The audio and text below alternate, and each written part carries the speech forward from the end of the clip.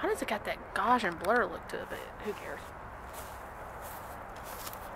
Alright guys, what's up? This is an sort of impromptu video on my YouTube channel. I'm here currently at the Marietta Cemetery, Marietta, Georgia. Um, right behind me is the grave of uh, Mary Fagan, who, if you don't know, she was um, a young girl that was murdered at a the pencil company in Atlanta, Georgia, which is now a federal building.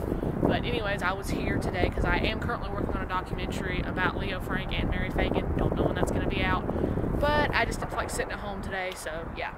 Just got some shots of her grave, and I decided why not just take you on a tour of the cemetery because nothing else better to do. All right, let's go. And for those of you wondering, this is what her grave looks like. She has a massive plaque in front of her grave that I thought I would show you guys before I walked off. And of course, they have this plaque here, which kind of details everything what's going on, but I'm not going to read it because I'm going to save that as a surprise for you guys for when you watch the documentary. And then you also have this plaque right here when you come in that kind of tells you all about what happened. And I apologize for the Gaussian blur type look to my camera. I don't know why. Maybe because I'm in a graveyard and I don't know, maybe spirits are interfering with my camera. Who knows? So I apologize for the Gaussian blur look. I did not do that on purpose. And my camera is being weird. And I am trying to get a new one, so there's that. Alright, so that's Mary Fagan's grave right there. So yeah, let's go on a tour and just kind of walk around because I have never been here before, so let's go.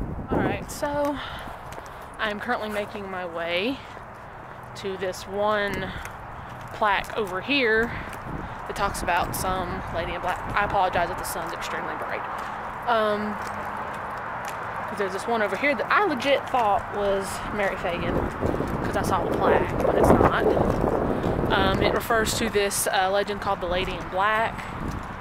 Um, suppose it's a woman that died here in Atlanta, and her sister would always come and visit her, and her sister would always wear black, hence why she's known as Lady in Black. And here it is, you guys that plaque right there, uh, right there, is the supposed lady in black. And this is a massive memorial that I think her sister put here. Very gorgeous memorial, I will say that. And why does my camera keep doing that Gaussian blur thingy? Ah. and this is the plaque I was talking about. It says Lady in Black. This memorial to Mary Ann Gar Gartrell. I apologize if I butchered that name. 1853 to 1906 was erected by her grieving sister Lucy. Musicians both and natives of Cobb County, Lucy visited this grave from her Atlanta home at least twice weekly for 48 years, many times on foot. Dressed always in mourning clothes, Lucy became known as the, known on the streets of Atlanta as the Lady in Black.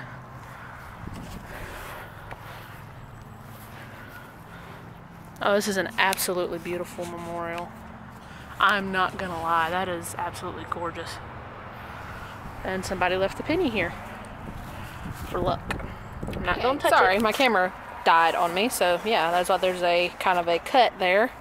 But as I was saying, there is some pennies actually placed on this monument, and you can even see some right in there, and then there's one right there. And then I guess a piece of the monument fell off from, I guess, somewhere up there. And also, if you come around this way, there's also an inscription on this side, which I think is pretty neat. So, yeah, I think I'm gonna go and find some other tombstones that are pretty cool because I think also right over there is the Confederate side where all the Confederate soldiers are buried. So I think I might go there next, but I think I did see a black, another black plaque, like this lady in black one, not far from here. So I think I'm gonna go check that one out. I don't know if it's just me, but there's just something cool, I guess, about walking through a nice historic cemetery. Um, yeah, it's just kind of very peaceful in a way, I guess. Because this is pretty, this is pretty nice. trying to see if I see any more black plaques. I saw one. I Could have swore maybe over this way, but I could be wrong. But I'm not seeing another one, so we may be heading back to the Confederate side.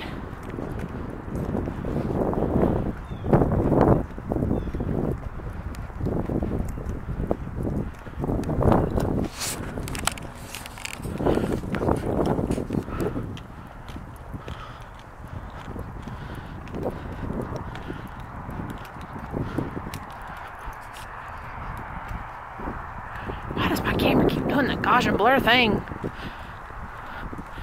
I apologize, guys. I really do. If my camera keeps going in and out of focus, it's just how it is. Ooh, what's this?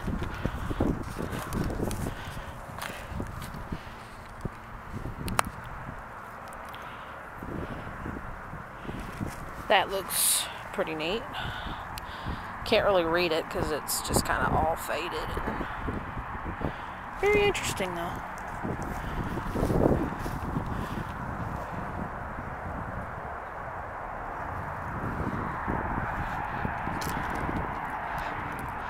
Look at the little cottage. That's probably like the little house there, which I think looks really cute.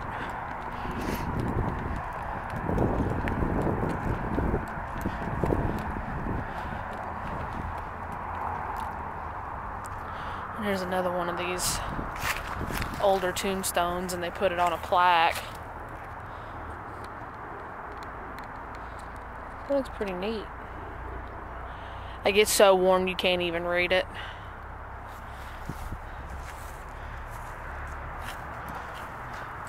Ooh, there's another black plaque. I'm gonna go to it. This is the other black plaque, and there's also one over this way, which I will go to after this one.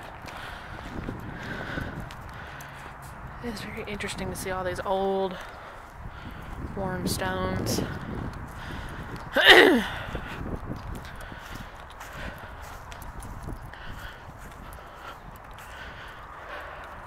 Founder's Lot, William Harris. Oldest grave is on this plot for William Harris' son, William Capers G. Harris, 1823 to 1831. Mr. Harris, a wealthy planter, was a devoted Methodist and champion of education. In the War of 1812, he served in Captain Jett Thomas Company, 2nd Regiment, Georgia Militia. He was a, uh, a Colonel, Cobb County Militia, 1813 to 1834, helped found 1851 Georgia Military Institute.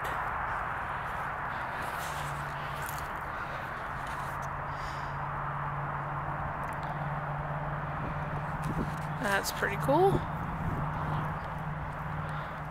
I'm surprised just how well this place is kept up.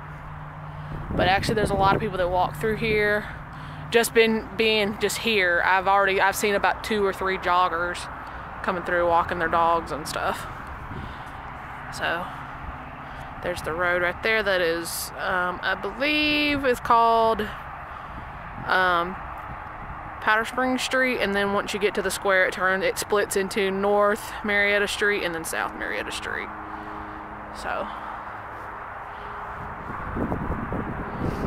alright, I'm gonna go take you over to this other plaque that's right over in here. William Root, beloved merchant, druggist, and I cannot read that. Esca, I'm not even try to say it because I want to butcher that. He helped found St. James in 1842. In 1844, he built his home Across from the church, his 1845 drugstore on the square was a town social center. The Root Home, one of the oldest wooden houses and a good specimen of early town architecture, now stands at North Marietta Parkway and Polk Street. It is open to the public. May have to go to that one day. Y'all comment down below if you think it'd be interesting if I could try and get in there one day.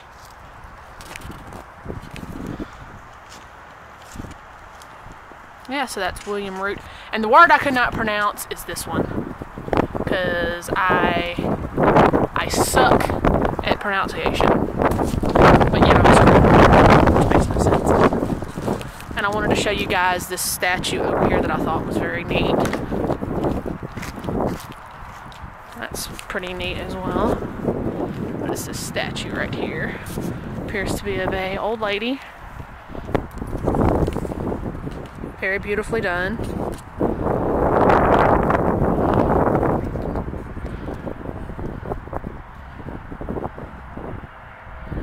Says Mattie Harris Lyon, 97, the mother of Marietta, was known for her years of zealous and affectionate service in religious, civic welfare, and patriotic activities. Her life was dedicated to the service of people, all races, a true humanitarian. She gave us unselfishly through religious and social service work. Through her inspiration, the Cobb County Welfare Department, the Cobb County chapter of American Red Cross, the Community Chest, and other humanitarian agencies were founded. She was president of the Women's Missionary Society at the First Methodist Church, active in the Women's Christian Temperance Union, president of the United Daughters of the Confederacy, and the Ladies Confederate Memorial Association. Other associations include the Civil League of other uh, Civil League of Marietta, which later became the Women's Club, a charter membership in the Flower Garden Club, an honorary membership of the Marietta County Club. She took the lead in making the graves of the dead in the Confederate cemetery adjacent to the city cemetery. It was said of Mattie Harris Lyon, I know I'm probably saying her last name wrong, my apologies. A center, a city comes in in time to have a personality and therefore a heart. And in the very center of Marietta's heart, Mattie Harris Lyon is enshrined. She was a princess of the Golden Pen, of the Golden Pen for the letters of good cheer. She wrote a veritable da- da- Dorcas, I can't pronounce that, of good deeds to the poor and needy. A Mary to sit at the feet of her Lord and learned of his spirit, and a Martha to translate his truth into blessing to his truth into blessings doing. She was a great teacher, for she taught Marietta to have a heart and a mighty love. Reverend Marvin Williams.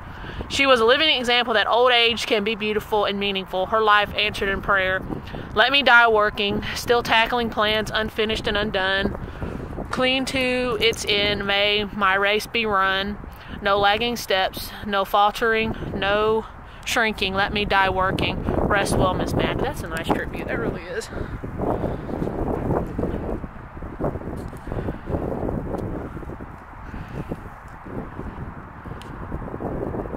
Alright, let's go do some more. Ooh, another black plaque. I was about to. I am so sorry my hair keeps getting in my face. Probably should put a pony, my hair in a ponytail, but wasn't thinking about that today before I left the house. S.V. Sanford, the greatest friend University of Georgia ever had, be- begun his academic career in Marietta, principal, superintendent, city schools, 1892 to 1903. At Georgia, at Georgia, 1903 to 1945, promoted academics and sports facility chairman, athletics from 1908, first head School of Journalism in 1921 President 1932 to 1935, Chancellor of Camp Consolidated University 1935 to 1945, 1929 stadium named in his honor. And that's his tombstone, Steadman Vincent Sanford. August 24th to 1870, August 24th, 1871 to September 15th, 1945. And I believe right now we are at the Confederate side of the cemetery. That monument, I think, it actually starts the Confederate cemetery. So why don't we go take a look over here? I better walk on the pathway. I don't want to upset anyone. So yeah, I think all this right here is Confederate monuments, Confederate soldiers and it's after Christmas time. It is currently January, and that is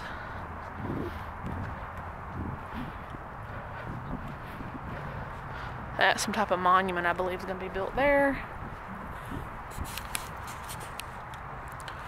To our Confederate dead, erected and dedicated by Kennesaw Chapter, United Daughters of the Confederacy, Marietta, Georgia, 1908. Oh, this was supposed to be an area where the little cannon was at. This little cannon served at the Georgia Mill Ter- Terry Institute from 1852 to 1864. Then went into the Confederate Army, was captured on Sherman's March to the Sea, 1864 to 1865, and held as a trophy of war until 1910 when it was returned by the United States government to the Confederate Cemetery in Marietta, Georgia. It's currently not there, so I'm guessing it's getting some restoration work done.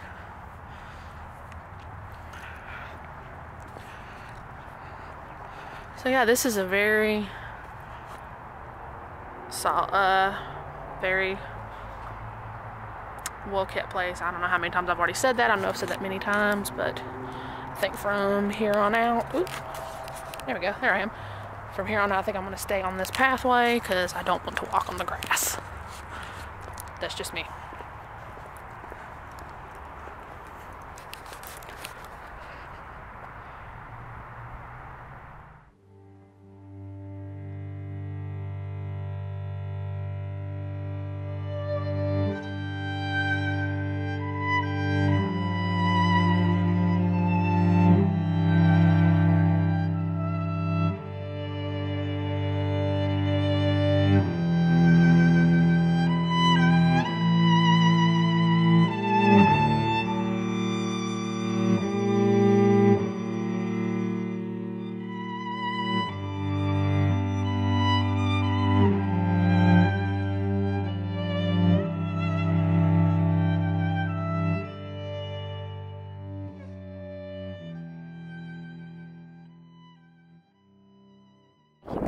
Out of the Confederate cemetery.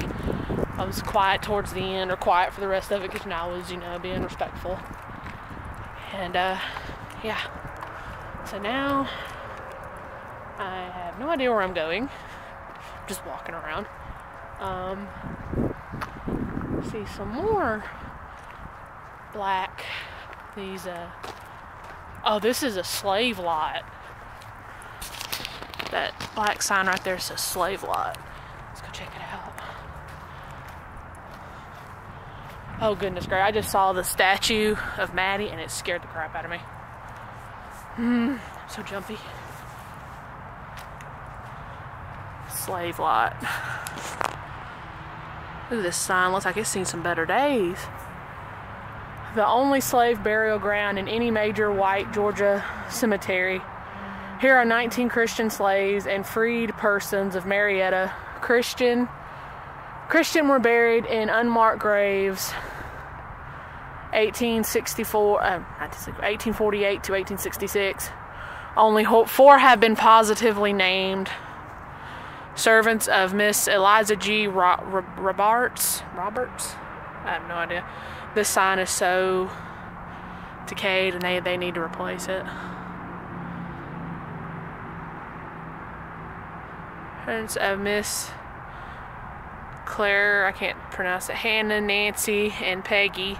They lived adjacent to the north side of the First Presbyterian Church. So, oh, this is the slave lot, so I'm guessing there's one.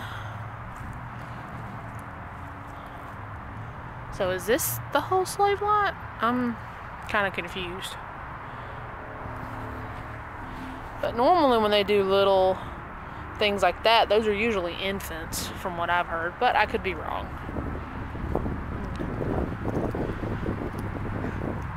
I know I saw another black. I think we already saw that one. That's the Sanford.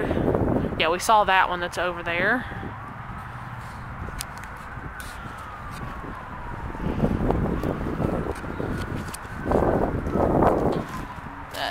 General William Phillips. Uh, he was a Confederate general. The Confederate flag's in the middle of that flag, or that cross. Uh,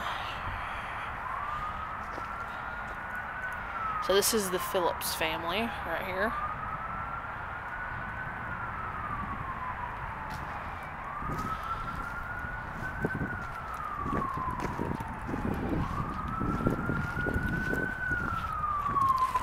We've already saw that. That black plaque that's over there. Metro, woohoo! Sorry, Metro ambulance driving by. I have relatives that actually work for them.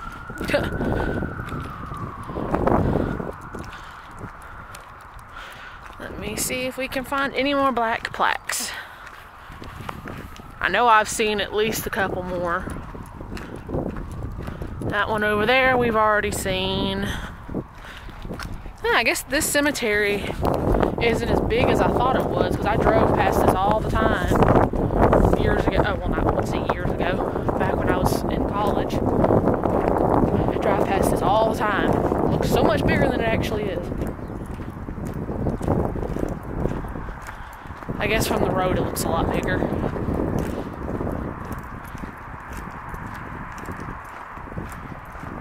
Trying to see if I see any more. Oh, cool. I have never seen a tombstone look like a wood pile. And there's a cross on the top of it. My guess is this man was probably a logger, maybe.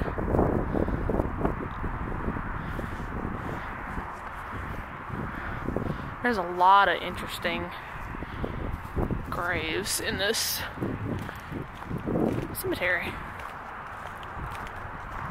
Alright, I'm going to cut my camera off now because I do have extra batteries, but I kind of want to preserve my batteries. So I'm going to try and see if I can find any more, you know, black plaques or anything that looks interesting. And I will show you guys. Alright, so I found another black plaque. Um, this is the Mick Leo, Leod Vault built in the style of a coastal burial chambers in 1854 by Savannah planter Francis Harris McLin. I cannot pronounce that. I am so sorry. I'm butchering that name.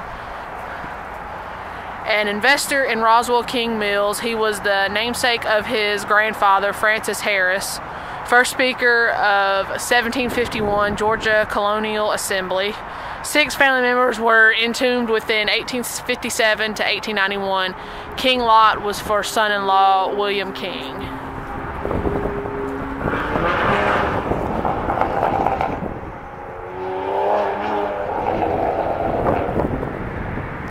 I'm not gonna lie, when I first saw this, I legit thought it was like a chamber where they like cremated bodies, because that's what it looked like to me. But it's not, it's just, of course, it is sealed off, and this is the king that they were talking about in the plaque, and it clearly says king right here.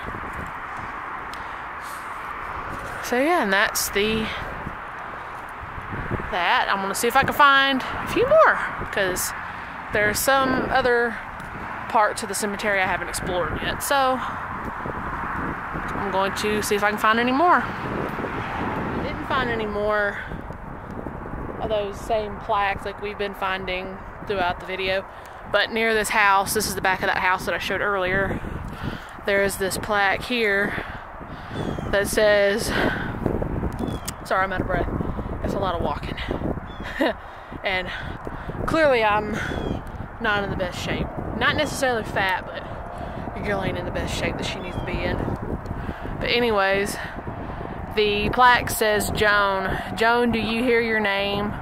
Spoken with praise and laughter, spoken with tears, spoken in our hearts, spoken in our minds, spoken in our prayers. Joan, do you feel the love pouring out like a flood, as nourishing as food, healing the awful hurt, healing our souls, answering our prayers? Joan, Joan, do you know larger than life?